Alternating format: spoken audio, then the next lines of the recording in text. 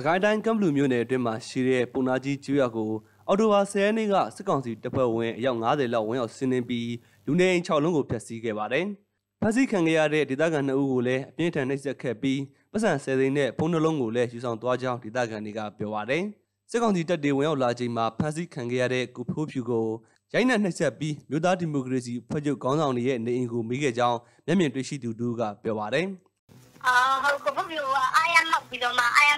က်ခိုင်းတာ နေသူထဲမှာအာရမောက်ခိုင်းပြီးတော့မှဒီကဝင်းတန်ရ3နှစ်တုံးနဲ့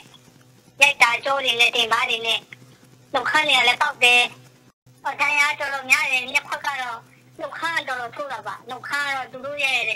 ဟိုလက်ထင်နဲ့ထောက်နေတယ်မှာအဲ့ဒါတော်တော်ပေါက်ပြဲပြီးတော့ရောင်းနေတာညက်ခုံးနေနားနားရဲ့သူကတော့တင်ပါတွေဘုဘက်ဒီဘက်တွေကြောတွေပါအဲ့အဲ့အာရမောက်ရိုက်တာဆိုတော့ ဒီကပစ္စည်းရောပတ်ထားလေရောအကုန်ပါပဲအဝတ်တွေလည်းအကုန်ဖတ်သူများတို့စိတ်ကအကုန်ယူ PDF တွေကိုထောက်ပံ့တယ်လို့ဆွဆွဲခဲ့ပြီးသူ့ရဲ့နေအိမ်ကိုလည်းဖျက်ဆီးသွားခဲ့တယ်လို့ဆိုပါတယ်။ကိုဖိုးဖြူကတော့ဖမ်းဆီးခေါ်ဆောင်သွားခြင်းမရှိဘဲပတ်စံ10သိန်းနဲ့ဖုန်းနှလုံးယူဆောင်သွားတယ်လို့သိရပါတယ်။စစ်သားတွေကအခြားနေအိမ်၅လုံးကိုလည်းဝင်ရောက်ရှာဖွေခဲ့ပါသေးတယ်။မြို့သားဒီမိုကရေစီဖွဲ့ချုပ်ထောက်ခံသူတွေဟာကျွတင်တိန့်ဆောင်နေကြလို့ဖမ်းဆီးခံရခြင်းတော့မရှိပါဘူး။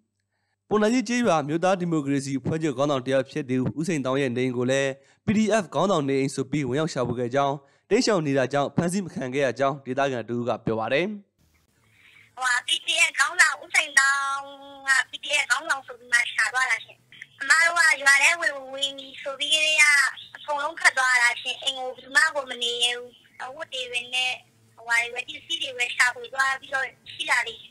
သွားတာရှင် ဒေသခံတွေကတော့ပုံနာကြီးရွာမှာ PDF တွေမရှိကြောင်းအခိုင်အမာပြောဆိုကြပါတယ်။ကမ္ဘလူမြို့နယ်မြောက်ပိုင်းမှာရှိတဲ့ပုံနာကြီးကျေးရွာဟာ PDF တွေလှုပ်ရှားမှုအားကောင်းတဲ့ကောလင်းမြို့နယ်15မိုင်ကွာမှာရှိပါတယ်။စစ်ကောင်စီဟာကောလင်းမြို့နယ်ကမ္ဘလူအကြားကချက်သိန်းစံပြကျေးရွာမှာတပ်ဆွဲထားပြီးအနီးပတ်ဝန်းကျင်ကကျေးရွာတွေကို PDF တွေရှိတဲ့ဆိုပြီးနေ့စဉ်လှည့်လည်စီးနှင်းရှာဖွေနေပါတယ်။ဆက်စင်းမှာကျွန်တော်တို့ရဲစခန်းမှာတက်ဆွဲတာတယ်။အင်အားတော့အလုံးကျွန်တော်တို့ကြားတာကတော့40နဲ့ 90